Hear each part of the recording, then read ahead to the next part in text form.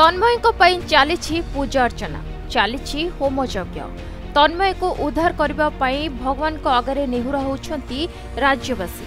ତନ୍ମୟକୁ ଉଦ୍ଧାର କରିବାକୁ ପ୍ରାଣମୂର୍ଚ୍ଛା ଉଦ୍ୟମ କୁନିପୁଅର ସୁରକ୍ଷା ପାଇଁ ପୁରା ରାଜ୍ୟବାସୀଙ୍କର ପୂଜାପାଠ ଚାଲିଛି ଗାୟତ୍ରୀ ମନ୍ତ୍ର ଜପରେ କମ୍ପୁଛି ରାଜ୍ୟ ଦୀର୍ଘ ଷାଠିଏ ଘଣ୍ଟାରୁ ଅଧିକ ସମୟ ଧରି ବୋରେଲ ଭିତରେ ଫସି ରହିଥିବା କୁନିପୁଅ ତନ୍ମୟକୁ ଉଦ୍ଧାର କରିବାକୁ ପ୍ରାଣପ୍ରାଣେ ଉଦ୍ୟମ ଚଳାଇଛନ୍ତି ଉଦ୍ଧାରକାରୀ ଦଳ ଉଦ୍ଧାରକାରୀ ଦଳ ତନ୍ମୟର ନିକଟତର ହୋଇଥିବା କୁହାଯାଉଛି ତେବେ ଚଉରାଳିଶ ଫୁଟ ସୁଡ଼ଙ୍ଗ ଖୋଳା କାମ ଶେଷ ହୋଇଥିବା ବେଳେ ତନ୍ମୟ ପାଖରେ ପହଞ୍ଚିବାକୁ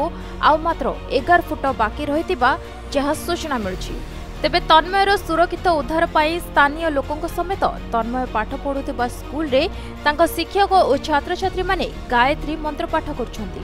ବୋରେଲର ଗଭୀରତା ଚାରିଶହ ଚାଳିଶ ଫୁଟ ହୋଇଥିବା ବେଳେ ପଚାଶ ଫୁଟରେ ଅଟକି ରହିଛନ୍ତି ତନ୍ମୟ ପାଇପ୍ ଯୋଗେ ତନ୍ମୟକୁ ଅମ୍ଳଜାନ ଯୋଗାଇ ଦିଆଯାଉଛି ସୂଚନା ଅନୁସାରେ ମଧ୍ୟପ୍ରଦେଶ ବିତୁଲ ଜିଲ୍ଲା ମାଧବୀ ଗାଁର ସୁନୀଲ ଦିଆବର ଛଅ ତାରିଖ ସନ୍ଧ୍ୟାରେ ତାଙ୍କର ଆଠ ବର୍ଷ ପୁଅ ତନ୍ମୟକୁ ଧରି ବିଲକୁ ଯାଇଥିଲେ